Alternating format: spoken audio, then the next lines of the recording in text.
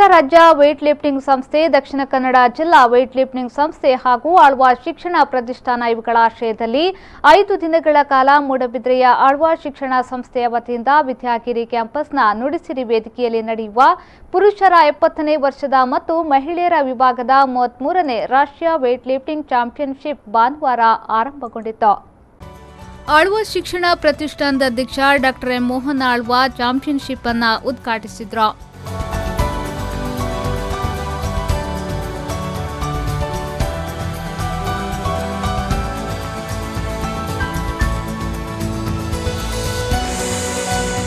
ಭಾರತೀಯ weight lifting ಫೆಡರೇಷನ್ನ ಪ್ರಧಾನ ಕಾರ್ಯದರ್ಶಿ ಸಹದೇವ್ ಯಾದವ್ ಮುಖ್ಯ ಅತಿಥಿಯಾಗಿ ಭಾಗವಹಿಸಿ ಮಾತನಾಡಿ ಮರೆಯಾಗುತ್ತಿದ್ದ ವೇಟ್ ಲಿಫ್ಟಿಂಗ್ ಕ್ರೀಡೆಯು ಇದೀಗ ಇಪ್ಪತ್ತೆರಡು ವರ್ಷಗಳ ಬಳಿಕ ಕ್ರೀಡಾಪಟುಗಳ ಆಸಕ್ತಿ ಸಂಘಟಕರು ಮತ್ತು ಫೆಡರೇಷನ್ಗಳ ನೇತೃತ್ವದೊಂದಿಗೆ ಮತ್ತೆ ಚಿಗುರೊಡೆಯುತ್ತಿದೆ. ಇದಕ್ಕೆ ಸಾಕ್ಷಿ ಎಂಬಂತೆ ಮಹಿಳಾ ಕ್ರೀಡಾಪಟು ಮೀರಾಬಾಯಿ ಚಾನ್ ಅವರು ಅಂತಾರಾಷ್ಟ್ರೀಯ ಮಟ್ಟದಲ್ಲಿ ಪ್ರಶಸ್ತಿ ಗಳಿಸಿರುವುದು ಸಾಕ್ಷಿಯಾಗಿದೆ ಎಂದು ಅಭಿಪ್ರಾಯಪಟ್ಟರು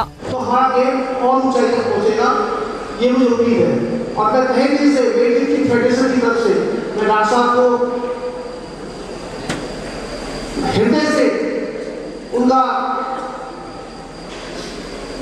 स्वागत करता हूं और मैं उम्मीद करूंगा कि आगे भी हमारी चैंपियनशिप ऐसी जगह पर होती रहेगी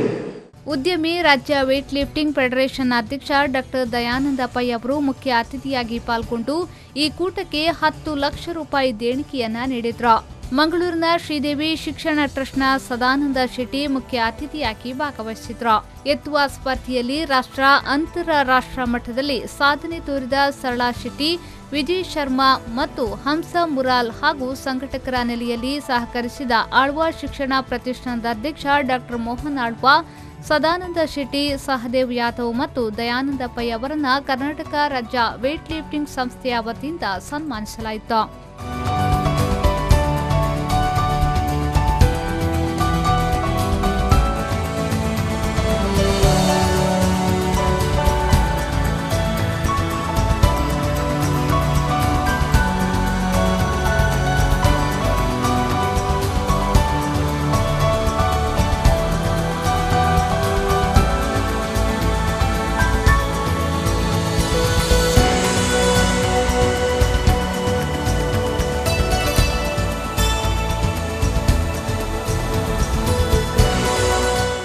ರಾಜ್ಯ ತಂಡಗಳಲ್ಲದೆ ಭಾರತೀಯ ರೈಲ್ವೇಸ್ ಸರ್ವೀಸಸ್ ಭಾರತೀಯ ಆಹಾರ ನಿಗಮ, ಪಂಜಾಬ್ ಪೊಲೀಸ್ ತಂಡಗಳು ಭಾಗವಹಿಸಲಿರುವ ಈ ರಾಷ್ಟ್ರೀಯ ಚಾಂಪಿಯನ್ಶಿಪ್ನಲ್ಲಿ ದೇಶದ ಸುಮಾರು ಐನೂರು ಭಾರ ಎತ್ತುವ ಪಟುಗಳು ಸ್ಪರ್ಧಿಸಲಿದ್ದಾರೆ. ಪ್ರೇಮಶ್ರೀ ವಿಪೋ ನ್ಯೂಸ್ ಫೋರ್ ಸೆವೆನ್ ಮೂಡಬಿದ್ರೆ.